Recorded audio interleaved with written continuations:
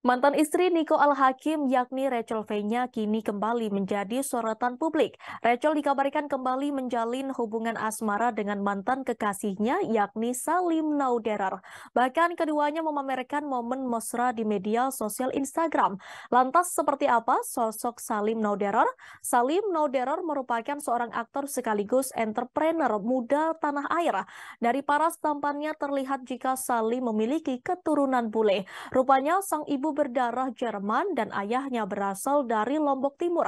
Di salah satu unggahannya di Instagram, Salim menunjukkan potret masa kecilnya bersama sang ibu yang merupakan seorang bule. Salim pernah mengenyam pendidikan jurusan manajemen. Ia menyelesaikan pendidikannya tersebut pada tahun 2020 lalu. Salim Nauderor meniti karir di hiburan dengan membintangi beberapa judul film layar lebar.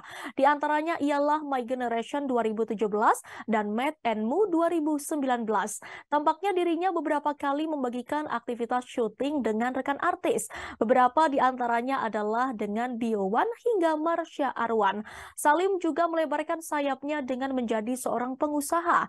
Dia diketahui meneruskan bisnis milik keluarganya berupa restoran dan penginapan yang ada di kawasan Gili, Trawangan, Lombok.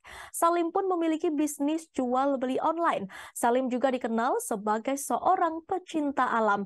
Pada pada laman media sosialnya dipenuhi dengan potret keindahan alam. Terlihat pula pemuda itu begitu menyukai pantai. Bahkan Salim kerap membagikan potretnya saat sedang berselancar. Terima kasih sudah nonton. Jangan lupa like, subscribe, dan share ya.